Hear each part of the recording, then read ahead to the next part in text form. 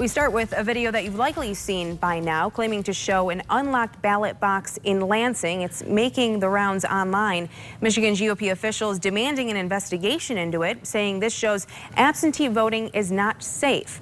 But some of the details behind the video aren't quite adding up. Araceli Crescenzo has the report. I can go right up to the back of it. As a record number of Michigan voters are expected to cast ballots absentee, the Michigan Republican Party says this video is proof of negligence and a lack of security ahead of the election. It appears to show a drop box unlocked with an envelope inside for the taking.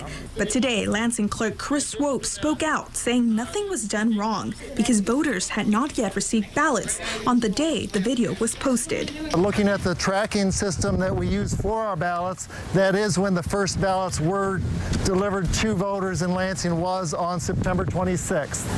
So this video was taken uh, sometime after the ballot box was installed and was posted on September 25th. He adds that the envelope in question in the video isn't even a ballot. Whatever it is that's in there obviously has no green borders on it, so it is not one of our ballot return envelopes. I do not know what the video shows in the box. Late this afternoon, Republican Party Chair Laura Cox sent a statement saying that clerks across the state have reached out questioning the security of drop boxes.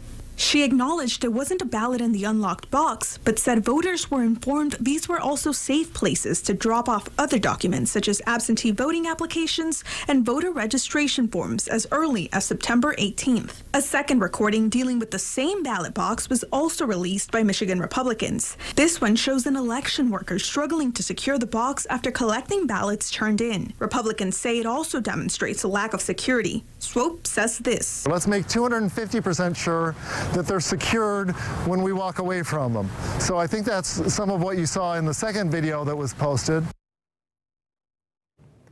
That was Araceli Crescenzo reporting. The Secretary of State's office has accused the state GOP of blatantly spreading misinformation and that the Attorney General's office is now looking into this. As for the box in that video, it's now labeled out of order. Anyone with concerns can track their ballot through the Secretary of State's website.